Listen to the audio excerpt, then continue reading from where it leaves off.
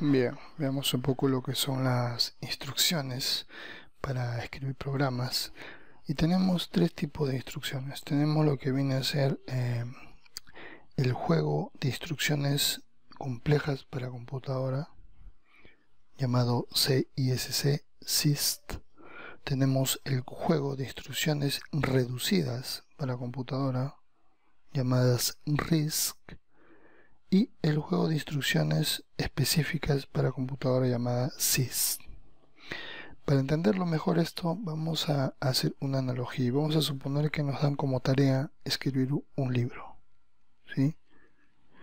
Nos dicen que para escribir este libro yo puedo usar solamente tres métodos. Cada método es independiente entre sí, es decir, puedo solamente usar un método o el otro. Y el primer método consiste en que me dan unas tarjetas donde colocan una o más sílabas, ¿sí? las cuales yo puedo combinar de tal manera que pueda formar palabras, oraciones, párrafos, páginas y finalmente mi libro. Por otro lado, lo que correspondería al conjunto de instrucciones reducidas sería como si me dieran tarjetas, cada una de ellas, con letras, en este caso todas las letras del abecedario, algunos números, algunos símbolos, ¿sí? etcétera en realidad son pocas. La gracia está en que yo puedo usar lo que hay dentro de las tarjetas más de una vez. Por otro lado, lo que viene a ser el conjunto o juego de instrucciones específicas para computadora son como tarjetas donde hay oraciones. ¿Sí? Y acá la regla es lo siguiente, no puedo utilizar lo que hay dentro de las tarjetas en forma separada. No puedo usar ni las letras ni las palabras. Igual acá. No puedo usar las letras por separado que hay dentro de las sílabas escritas. Tengo que usar toda la sílaba entera. Y ojo que puede haber una, más de una sílaba. Si eso lo, lo asumimos como para escribir programas, ya que un programa, en este caso, va a ser similar a un libro. ¿Sí? Un programa pues hace que nuestra, nuestro microcontrolador haga alguna función en, eh, en especial, ¿no? Igual que un libro, donde un libro pues tiene una función específica que es eh, enseñarnos algo, mostrarnos algo, contarnos, narrarnos, ¿sí? Y entonces la cosa viene así. Cuando hablamos de el conjunto complejo de instrucciones, y estamos asumiendo que es de esta forma, estamos asumiendo que cada instrucción está compuesta por instrucciones más simples dentro de ella. Por un lado, yo sé que para escribir una página voy a necesitar muchas tarjetas de estas para lograr así poder hacer la combinación correcta de las palabras que necesito. Es decir, voy a necesitar muchas instrucciones y asumo que cada tarjeta de estas es una instrucción.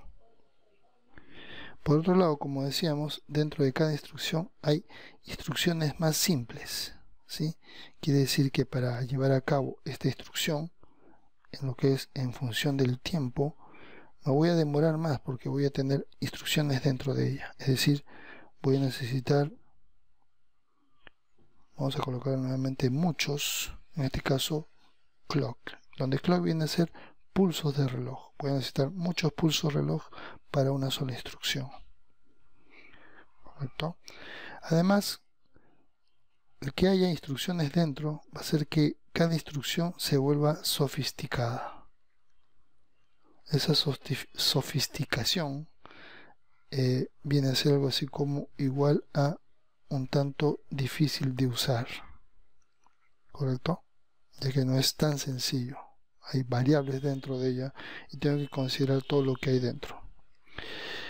Por otro lado, lo que consiste en el conjunto reducido de instrucciones, ¿sí? voy a necesitar pocas instrucciones, ya que como en el caso de las palabras, o mejor dicho las letras, ¿sí? con unas cuantas letras pues puedo escribir yo bibliotecas enteras. Entonces necesito pocas instrucciones. Como necesito pocas instrucciones y cada una de las instrucciones solamente tiene una instrucción simple, va a demorar menos tiempo y sabemos que va a demorar solamente un ciclo, perdón, un ciclo de instrucción. ¿Correcto?